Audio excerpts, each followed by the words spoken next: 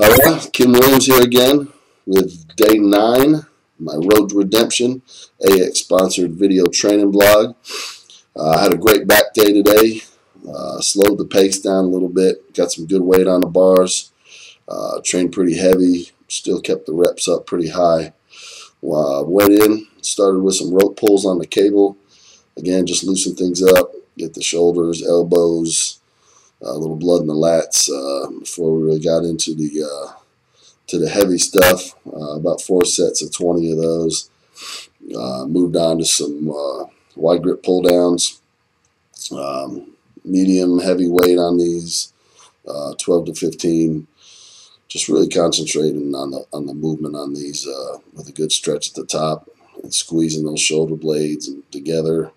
Uh, you know, bring trying to bring those elbows down as deep as I can uh, to really hit that hit those lats uh, in that middle back. Um, after these, uh, went straight to some uh, bent over barbell rows. Um, these felt great. Uh, still getting my back, lower back used to, you know, the load of uh, some weight again. Now I'm putting weight on my leg following this injury, but uh, so got up to 315 on these for about 12, and uh, felt felt real solid. Um, after these, went into some, uh, some close grip pull downs. Um, pretty good weight on these. Again, stretch the top, contraction at the bottom, and just feeling that lat all the way through the movement. Make sure it's doing the work and not, and not the biceps. Um, and these these felt great as well. Had a good good pump going.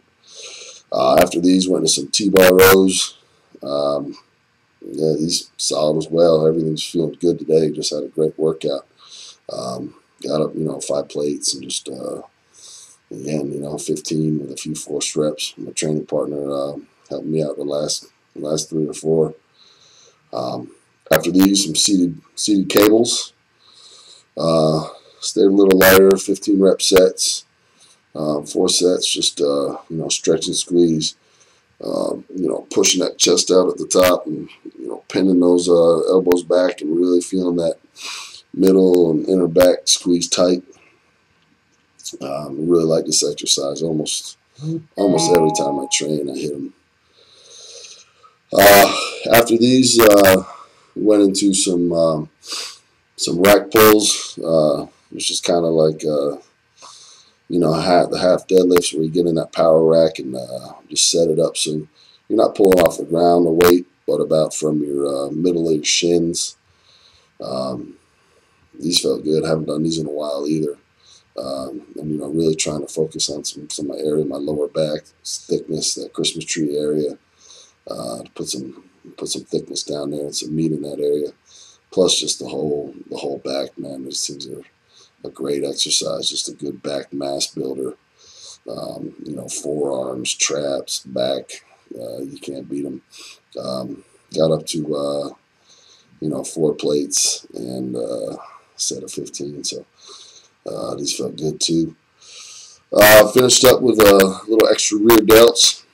Um, four uh, four sets on the on the pec deck rear delt machine. Um, you know, four sets of 20 or so with a strip down.